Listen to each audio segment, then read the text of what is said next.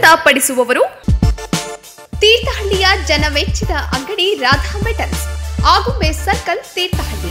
ನಮ್ಮಲ್ಲಿ ಹೆಸರಾಂತ ಕಂಪನಿಗಳ ಉತ್ತಮ ಗುಣಮಟ್ಟದ ಫ್ಯಾನ್, ಮಿಕ್ಸಿ, ಕುಕ್ಕರ್, ಗ್ರೈಂಡರ್, ಎಲ್ಲಾ ವಿಧದ ಸ್ಟೀಲ್ ಪಾತ್ರೆಗಳು, ತಾಮ್ರದ ಬಾಯ್ಲರ್, ಅಡಿಕೆ ಬೇಯಿಸುವ ಹಂಡೆಗಳು, ಗುಜರಾತ್ ಕೇರಳ ಬಾಯ್ಲರ್ ತಾಮ್ರದ ಹಂಡೆಗಳಲ್ಲದೆ ಇನ್ನಿತರೆ ಗೃಹೋಪಯೋಗಿ ಉಪಕರಣಗಳು ಆಕರ್ಷಕ ಹಾಗೂ ರಿಯಾಯಿತಿ ದರದಲ್ಲಿ ಸದಾ ದೊರೆಯುತ್ತದೆ. ಸಂಪರ್ಕಿಸಿ ರಾಜೀವನ್ ಮೊಬೈಲ್ ಸಂಖ್ಯೆ ಒಂಬತ್ತು ಐದು, ಒಂಬತ್ತು ಸೊನ್ನೆ ಒಂಬತ್ತು ಸೊನ್ನೆ, ಒಂಬತ್ತು ಎರಡು ಒಂಬತ್ತು ಎರಡು.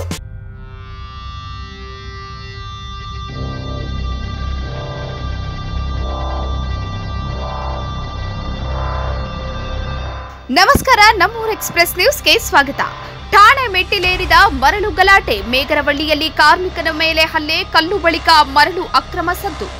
ತೀರ್ಥಹಳ್ಳಿ ತಾಲೂಕಿನಲ್ಲಿ ಸದಾ ಸದ್ದು ಮಾಡುವ ಮರಳು ಮತ್ತು ಕಲ್ಲು ವ್ಯವಹಾರ ಇದೀಗ ಮತ್ತೊಂದು ಹಂತ ತಲುಪಿದೆ. ತೀರ್ಥಹಳ್ಳಿ ತಾಲೂಕಿನ ಮಾಲತಿ ನದಿ ತೀರದ ಮೇಗರವಳ್ಳಿಯಲ್ಲಿ ಮರಳು ದಂಧೆ ಸಂಬಂಧಪಟ್ಟಂತೆ ಕೂಲಿ ಕಾರ್ಮಿಕನ ಮೇಲೆ ಹಲ್ಲೆ ನಡೆದಿದೆ ಎನ್ನಲಾಗಿದ್ದು, ಪ್ರಕರಣ ಠಾಣೆಯ ಮೆಟ್ಟಿಲೇರಿದೆ.